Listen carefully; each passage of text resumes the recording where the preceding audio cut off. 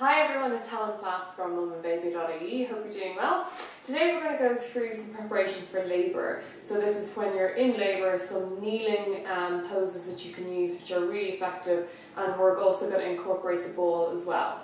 So remembering the acronym that I, I spoke about, I, I, speak about in different videos, um, called RUM, so not to drink, but R for relaxed, U for upright, and M for mobile. So there, there are three really, really important words to try and remember all the time during your labour, during your contractions. Trying to be relaxed, upright, and mobile, and that'll help you have the most active, the fastest type of birth that you that you want to have. So we're going to start today on the hands and knees. We're going to bring the ball into it in a moment, but first of all just on the hands and knees. So it's likely at this point, if you're having a hospital birth, it's likely you'll probably be at home for, for, um, for the early part of your labour. So trying to stay at home for as long as you feel comfortably possible. So it will help you keep relaxed. Okay, so just coming onto the hands and knees. You don't need a yoga mat. If you're at home, you're probably just on the carpet or on, on um, a blanket. So we're going to go on to the hands and knees first of all. And your shoulders are over your wrists and one thing is that you do want to have the knees quite wide. So you're obviously in labour, your bump is going to be quite big at this stage so it's just giving you and your baby lots of room to move.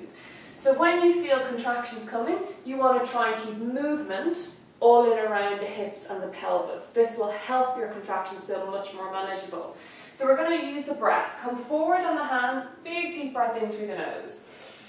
And then you're going to start to blow out through your mouth as your bum goes to the right heel, cross to the left heel bum out to the left. Inhale.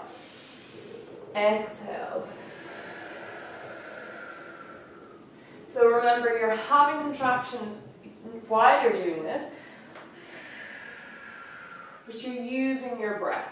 So all you're doing is you're moving your hips. It'll improve the circulation um, to the placenta, to the baby, to your uterus, okay? So they're your hip circles. You can go in both directions. A really simple alternative is just literally wagging from side to side. So coming back down, you can have your knees wide or bring them in a little bit. Um, if you need cushions or anything under the knees to make you more comfortable, then obviously you do whatever you need. So literally wagging is as it says on the tin, just bring the hips side to side. You can close your eyes, focusing on those long deep breaths in and long controlled exhales out. Simple as that, wagging from side to side. When you're not having a contraction, you want to rest into any pose that will allow your body to completely relax, almost fall asleep for a moment or two, and a really good pose for that is child's pose, okay? So it's a classical resting yoga pose. So knees again nice and wide.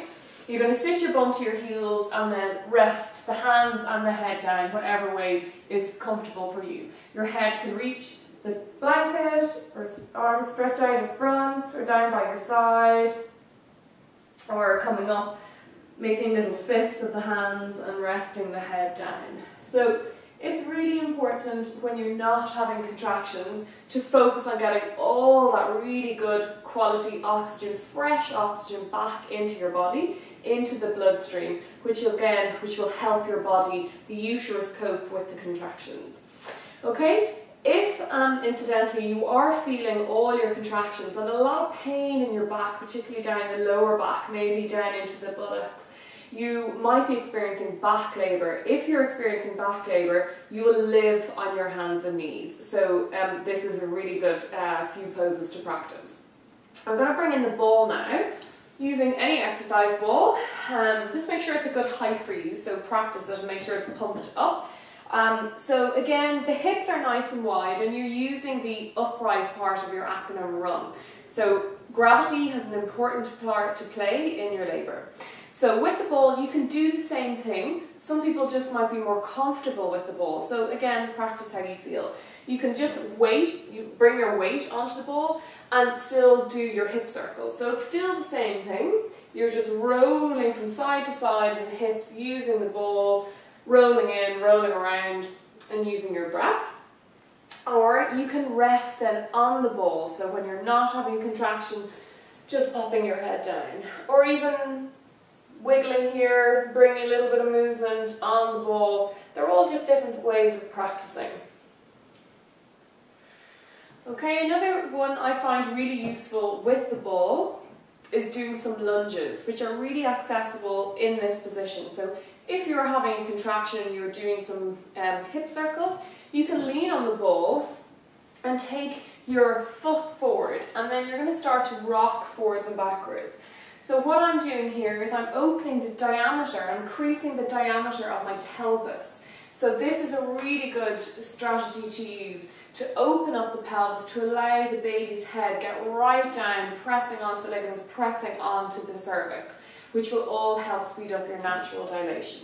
So again, you're just leaning onto the ball, you can relax here, you can be talking to someone, you can be watching telly, whatever, whatever you can go with, and then just rocking forwards and backwards, okay? Also, from um, a pushing perspective, you can be on the hands and the knees or on the ball as well. So again, you're opening into the pelvis, giving baby more room to come out. Okay, so there you have it, just a few simple poses, good positionings from yoga, good positionings to allow yourself have a comfortable labour, doing your hip circles, using your breath, and you'll be all set for a rock star labour and birth. Thanks so much, see you next time.